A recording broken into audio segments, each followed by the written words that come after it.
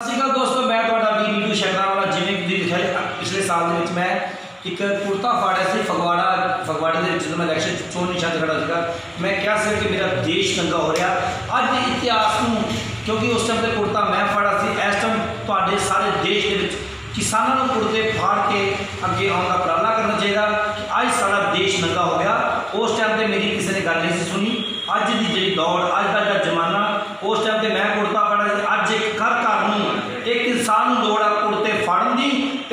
ਅੱਜ ਅਸੀਂ ਸੜਕਾਂ ਤੇ ਉਤਰਨਾ ਕਿ ਦੇਖਣਾ ਹੈ ਸਰਕਾਰ 'ਚ ਕਿੰਨਾ ਕੁ ਦਮ ਹੈ ਸਾਡੇ ਕਿਸਾਨਾਂ ਦਾ ਧੱਕਾ ਕਰਕੇ ਚੱਲੀ ਹੈ ਵਾਹ ਵਾਹ ਕਿਸਾਨਾਂ ਤੇਰੇ ਨਾਲ ਕਰ ਗਈ ਧੱਕਾ ਧੱਕਾ ਜੋਰ ਜਵਾਨਾ ਇਹ ਸਰਕਾਰ ਹੋਏ ਤੂੰ ਰਹਿ ਗਿਆ ਇੱਕਦਮ ਕੱਲਾ ਤੇਰੇ ਨਾਲ ਨੀਟੂ ਸਰਕਾਰ ਹੋਏ ਤੇਰੇ ਨਾਲ ਨੀਟੂ ਖੜਾ ਹੈ ਸਾਰੇ ਕਿਸਾਨਾਂ ਦੇ ਵੀ- ਵੀਰਾਂ ਦੇ ਨਾਲ ਆਪਾਂ ਆਪਣੀ ਵੱਖਰੀ ਸਰਕਾਰ ਆਪਣਾ ਅਸੀਂ ਰਾਸ਼ਟਰਪਤੀ ਵੱਖਰਾ ਬਣਾਵਾਂਗੇ ਪ੍ਰਧਾਨ ਮੰਤਰੀ ਵੱਖਰਾ ਬਣਾਵਾਂਗੇ ਇੱਕ ਯੋਜਨਾ ਨਵੀਂ ਚਲਾਵਾਂਗੇ ਅਗਰ ਸਾਡੇ